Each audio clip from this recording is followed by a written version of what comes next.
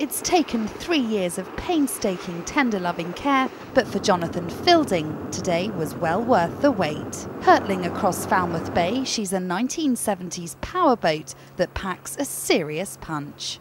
In the days of these designs, uh, they were really state-of-the-art design. Aluminium hulls, very lightweight, very fast, the latest propulsion systems. Um, and again, this is, this is almost like the rebirth of Pirate because putting these new diesel engines in, these common rail diesel Cummins engines uh, of today, um, really brings her back up to, uh, up to speed, for want of a better word.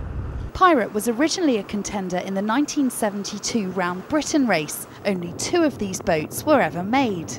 40 years on, and she still means business, passing her sea trials with flying colours. Stuart Redmond's been working on installing Pirate's engines for months. Today's news means he can finally breathe a big sigh of relief. At the moment, I'm very pleased with the results. The speed was just uh, uh, very good on this one. Um, I can't believe it, really, how fast it really goes for a nice old boat. It's been uh, quite a labour of love, yes, and it's been uh, quite tight to get round the spaces in, in, this, in this particular instance. Uh, particularly on one of the sides there, it's very difficult to get down the side, but I can manage to get down there and crawl back out. But um, after three years of putting it all together, it's eventually come to this particular spot now.